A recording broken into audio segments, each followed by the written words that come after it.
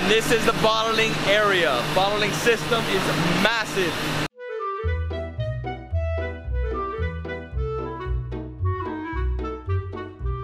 Good afternoon, everyone. I hope you're all doing well. This is David Hoffmann from David's Been Here coming at you from Peja, Kosovo.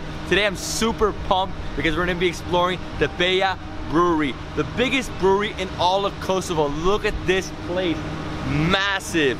And after this, we're gonna go to an amazing restaurant to eat some Kosovo delicious food. Are you guys ready? Are you pumped? Yeah, man, I have so, like, for whole my life I've drink Birra Peja and now it's time to see where they produce it, how they produce it. Super excited to go inside and check it. Let's go. I just want to let you guys know this is a VIP tour. I have exclusive access to see how they make their delicious beer. Albert, pleasure. Nice to meet you. Nice to meet you as well. So what do we do here at Peja? So now we are going to visit bottling the best company, the best beer. So right now we're sitting inside their tap room and we're trying some unfiltered Peja beer. You can't get this anywhere else in the world except right here. Oh my gosh, delicious. Wow. Gazor, Gazor, Gazor, Gazor, Gazor, Gazor.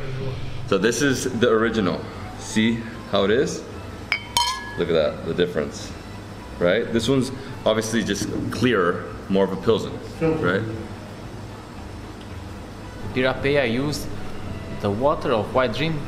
They bring it here with pipes and they use that quality of water for their beers. All right, Gazor, let's try it. Oh, wait.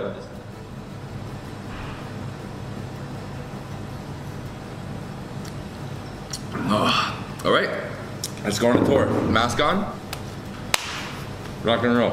So right here, guys, we have the brewing process, right? The three main ingredients is malt, hops, and water. Malt, water, hops, right? So it has to go through all this to get to here. We drank unfiltered right here, right? That was what we drank. So then it gets filtered and then it goes into the bottling system. Once it's bottled, then it's shipped out all around the world.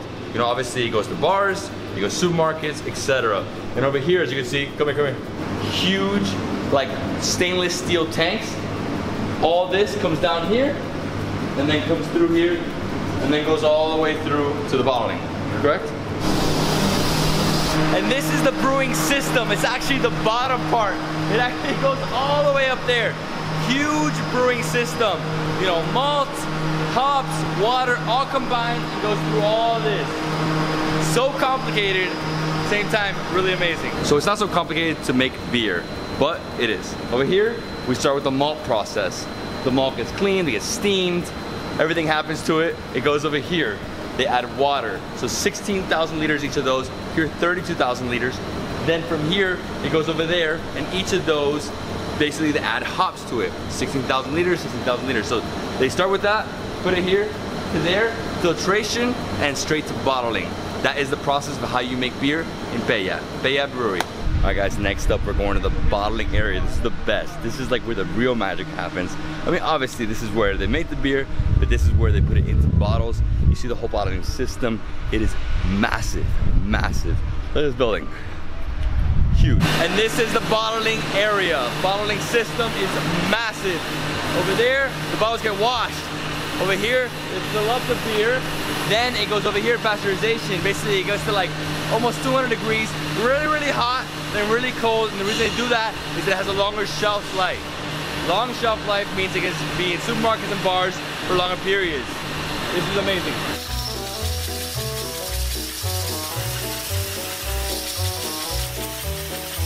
All right, now we're gonna see how they put the label.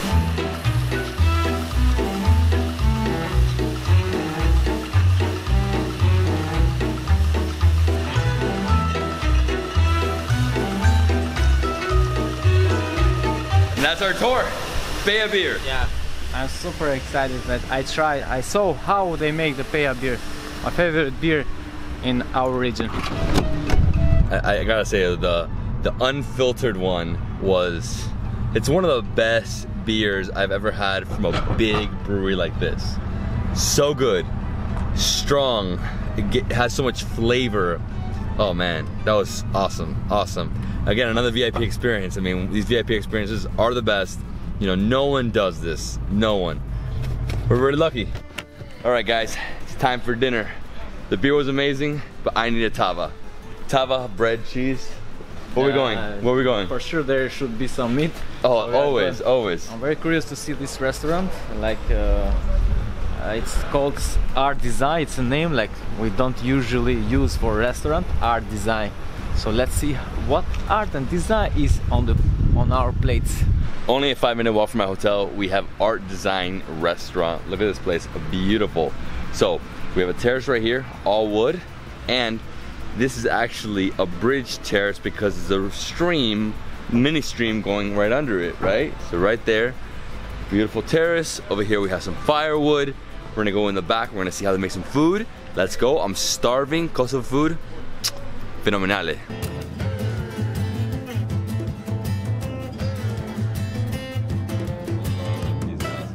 We came to the kitchen to see how they make a really unique dish. She's cutting up eggplant. What else do we have here? We have peppers, carrots. Next step, put everything on the pan, saute it. So after around 30 minutes, the vegetables are all ready. Now she's moving over to a different pot, right? And she's gonna put the beef on top.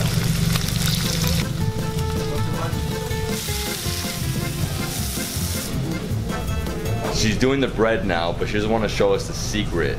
She basically makes the bread look like this. How? We don't know, but she's doing it right now. And there we have it, the bread that is shaped just like the qeleshe. Very similar. Then she adds all the delicious vegetables and the beef. So good. Dinner is served. We have a salad, tomato, cucumber, cheese, onions. We also have this delicious chicken soup. And over here we have the most amazing thing ever. So the bread, right? It's like this. Literally is like this. And then inside it is vegetables. You got beef and you have a pepper on top. Amazing. And we have some bread. So the bread good? A little bread. So this is the chicken soup, you said? Çorba ile beşiş.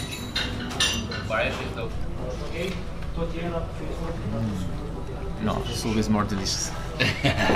I mean, this is a fantastic soup. So it's basically like a vegetable soup, and you have these big chunks of chicken. Mmm. Lots of pepper. Oh, it's amazing. We actually haven't had soup on this trip yet. The weather outside is cold. You need this. Mmm. Oh wow, and the parsley right there. Nice kick. Muito bom. Mmm. Muy bien. It's fantastic. It's a nice starter. I think what you should do is dip the bread, right? Soak it up.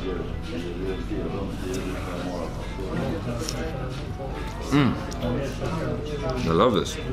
I'm sorry to destroy this beautiful plate, but I love it. All right, my friends, look at this. This is the dish. Ooh. So you gotta break off a piece, right? Ah, that's what it's made for. Mmm.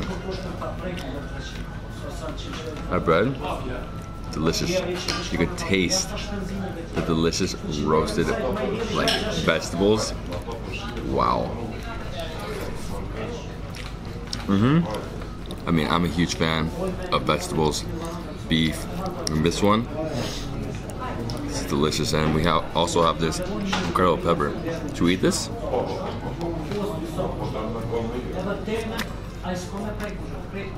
Mmm, spicy. The roasted peppers here in are a little spicier than the ones in Albania. Mm-hmm. Mm. Oh man, the juices. It's juicy, it's flavorful, different textures. If I was you guys, I'd break off a piece of the bread. Go in there like that. So we did it today with chfapi, right?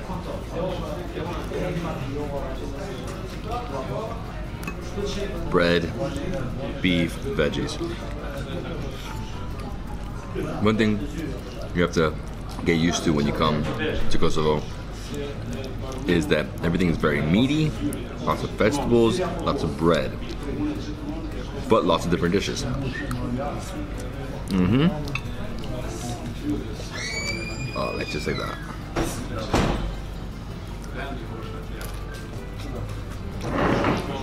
One thing we didn't do is we didn't try the amazing salad here. I'm just gonna grab a piece of cheese. That's my favorite part about it. I mean, I like tomatoes, cucumbers, but cheese. Mm. It's almost like string cheese. So good, really filling. Gazor, gazor. Gazor.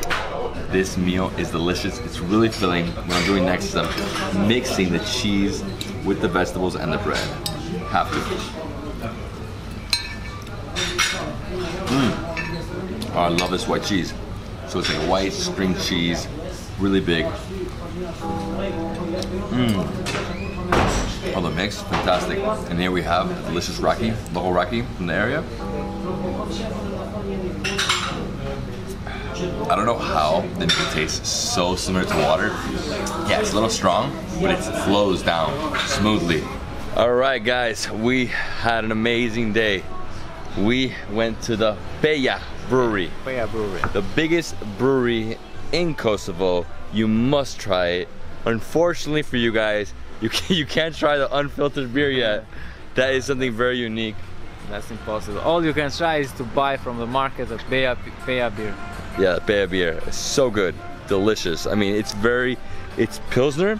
It's a light beer, but it's different. I mean, the unfiltered one was phenomenal. I mean, changed my world in terms of like a wheat beer from Kosovo. And the water comes straight from the mountain, which from is the White Drin. from the White Drin. Yeah. And then we came back and went to Art Design Restaurant. So it's like more of a modern restaurant, really delicious. I mean, we only tried a few things, but they have so many more things on the menu. Um, for me, I mean, just that that plate was super unique. Yeah. Making it into the the hat like this, like a little.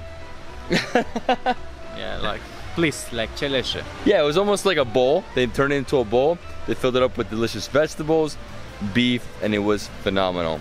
I gotta say though, the raki, great. The raki here is like water. Oh, what's happening here?